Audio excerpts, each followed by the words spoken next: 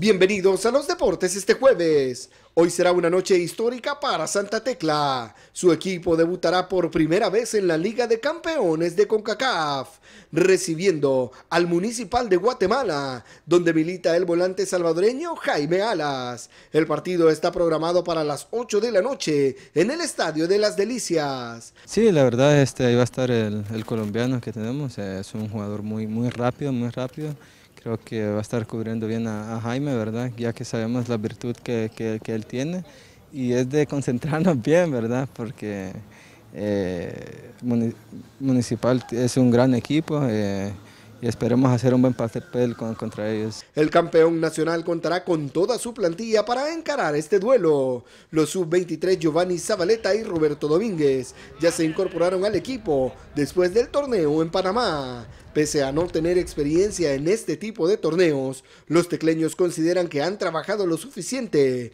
para representar bien el fútbol salvadoreño. Motivado ya queriendo empezar este campeonato querer hacer historia porque el equipo es nuevo y, queremos dejar una buena impresión, queremos hacer un buen papel dentro de este torneo.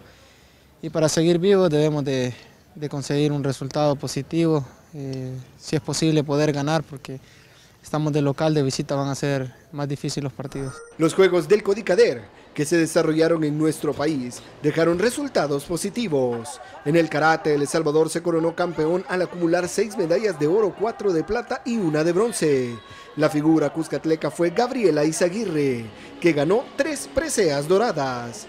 Joami Trejo, con dos oros. Vic Flores y Eduardo Magaña también terminaron en lo más alto del podio. Bueno, sí fue muy reñido porque todas estaban muy preparadas y bueno, yo sentí muy, muy bien este, haber podido ganar y, eso me siento muy feliz. Yo creo que los muchachos nos enfrentamos con Guatemala que tiene una preparación y un poder económico mucho más alto que nosotros. Más sin embargo, siempre hemos dicho que en casa nadie los puede venir a ganar. Yo creo que los muchachos sacaron el pecho, sacaron la garra y se dieron los resultados. En el judo no se consiguieron los mejores resultados. Belki Torres sumó dos medallas de oro al ganar en combates y en kata junto a Regina Ruiz. José Andino y Edwin Serrano también ganaron preseas de oro. Se peleé con un nicaragüense en la categoría de menos 64 kilos. Fue muy dura la competencia para llegar a la final. Cuéntanos cómo fuiste avanzando. No, porque este, eh, mi meta era venir acá me preparé dos años para estar acá y ganar. Venimos preparando desde, el mes de enero, con concentraciones los fines de semana, eh, convocando a los atletas de esta categoría y la siguiente que es la sub-18. Nos hemos mantenido por el lapso de seis meses entrenando. En la lucha también se consiguieron buenos resultados.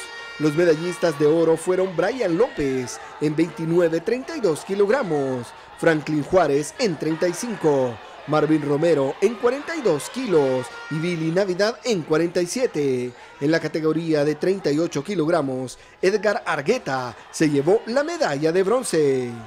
Sí, me tocó un rival duro, pero gracias a Dios salió el objetivo que nosotros ocupábamos y gracias a Dios ganamos. Gracias a Dios me fue muy bien, nunca me esperé a ganar, pero gracias, le doy gracias a Dios por haber ganado primer lugar y estoy contenta y gracias a Dios lo pude lograr y ganar medalla de oro. Los atletas que participaron en estos Juegos del Codicader nivel intermedio son parte del programa Éxito.